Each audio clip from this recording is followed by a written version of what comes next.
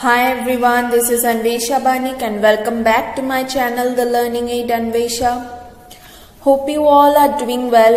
Yes, we are moving through a very tough situation, but then let's hope for the best. So getting into today's topic, my last video was about the summer season. There I have tried something new, so please go and check.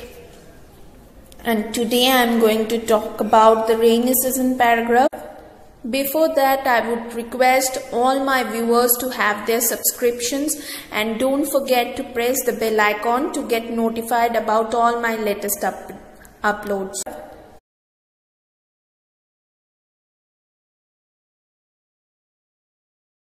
Rainy season comes after the hot and dry summer season.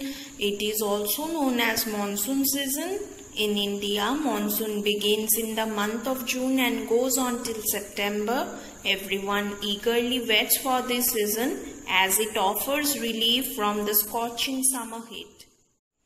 Monsoon makes everything in the nature look refreshing and colorful. All the trees get covered with new green leaves and fields are covered with green velvet grass. During the rainy season, the sky remains covered with clouds. Thunderstorms are very common. At times, rainbows can also be seen in the sky after the rains. It is also a season to enjoy a lot of fresh fruits. Due to heavy rainfall, rivers, canals, tanks become full to the brim and other lowlands go underwater. The intensity of rainfall varies from one region to another depending on the location and climatic condition.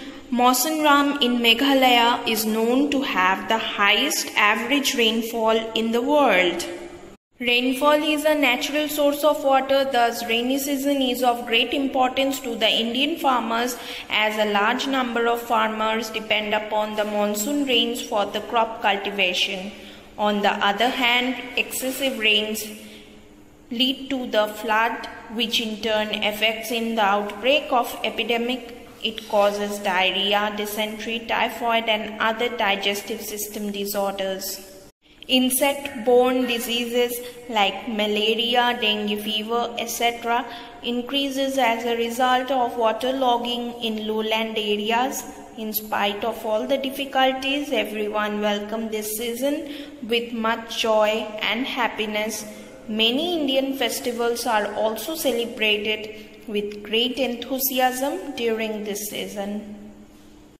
So friends, that's all for today. Thanks for watching. Subscribe the channel and stay tuned. Bye-bye.